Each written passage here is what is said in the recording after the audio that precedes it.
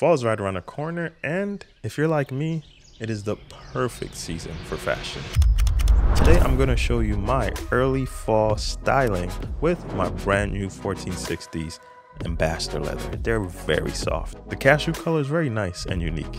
It stands out every time I put them on. We will start light for those warm fall days and transition into the cozier outfits for those days that the air is a little bit crisp. So whether I'm out for a sunny afternoon or embracing a chilly evening, this is what I wear. And if any of these outfits catch your eye, you can find a link to every piece in the description below. Let's get started. Kicking things off, we have a look that blends comfort with style. A beige oversized shirt paired with a tapered polyester cargo pants. I really like the fit of these. I really like the fit of the shirt. It's not too big, nor is it too small. It just fits right in that perfect medium. The pants have an elastic cuff at the ankle, which I folded them inwards so that they can just sit perfectly on my 1460s. This outfit, I believe the 1460s is the main event for the outfit, but it's a very simple setup and it's a cool tone for a very early fall.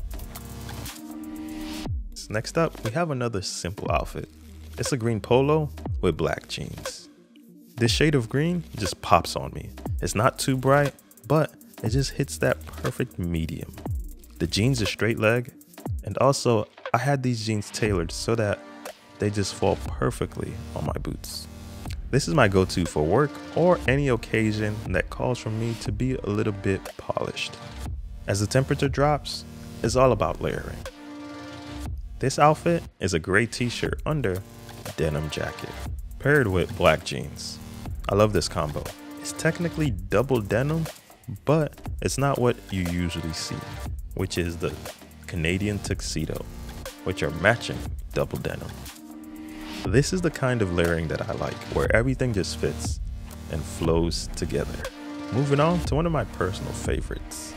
This outfit features a long sleeve shirt under a puffered vest, teamed up with a wide fitted wash jeans. The cuff on the jeans just gives it a neat twist, making the boots stand out as well as the jeans. The puffer jacket isn't just functional, but it's also stylish giving the whole outfit just a nice pop. For the finale, this is my favorite outfit out of these five. It's a black t-shirt underneath a flannel button down, paired with an athletic fit khaki pants. The fit for these pants are spot on. I did not need to tailor anything. Also, the red accent on the flannel matches pretty well with the 1460s.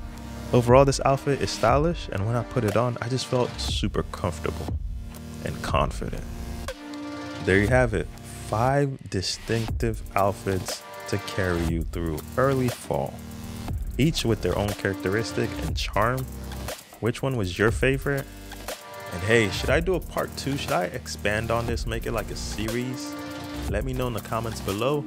Thank you for watching. Check out this video right here.